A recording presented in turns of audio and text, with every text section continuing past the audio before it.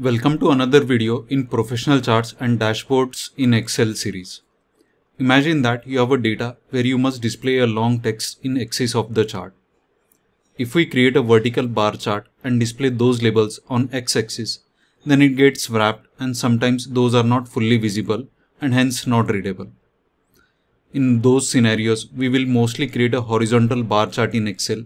So this long text can be displayed on y-axis horizontally so that it can be read easily. Now when we create these horizontal bar charts, a lot of space is consumed by these labels inside our chart.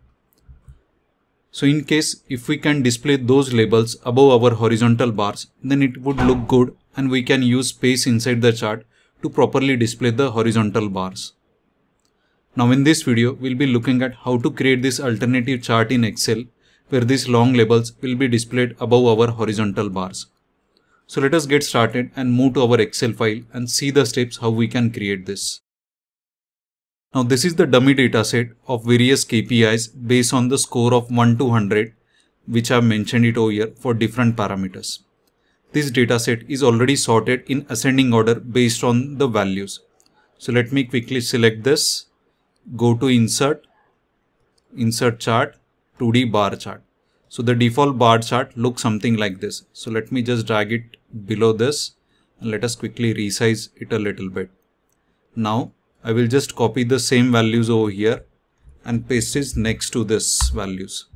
Select the chart and expand to include these additional values as well. So here on your chart, you can see that one more horizontal bar is been added with the same values. So let me quickly remove this vertical lines by selecting and pressing delete. This also is not required. Delete. Select any one of them. Press Ctrl 1. Now let us reduce the gap width to 40%. Now let us quickly add the data labels inside base. So here you can see the data labels have been added. Let us quickly select them. Let us go to the data labels. Now select values from cells and we'll be selecting our labels as values. So let us quickly select them. Let us press OK. Now here you can see those are being overlapped.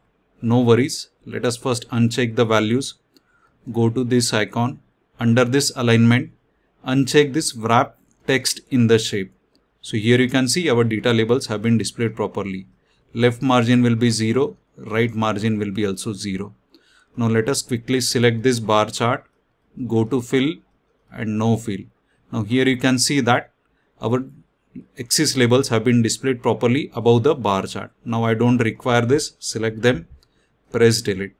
Now select this bottom bar chart, click on the data labels inside base we want. Let us quickly format this, go to text and select white color. Now here you can see the data labels have been appropriately added in this chart. Now let us quickly add the chart title. But instead of directly adding, I will just decrease this. Select the chart, go to insert text box. That's what we'll see text box and add the text box over here. So we can simply add KPIs for company.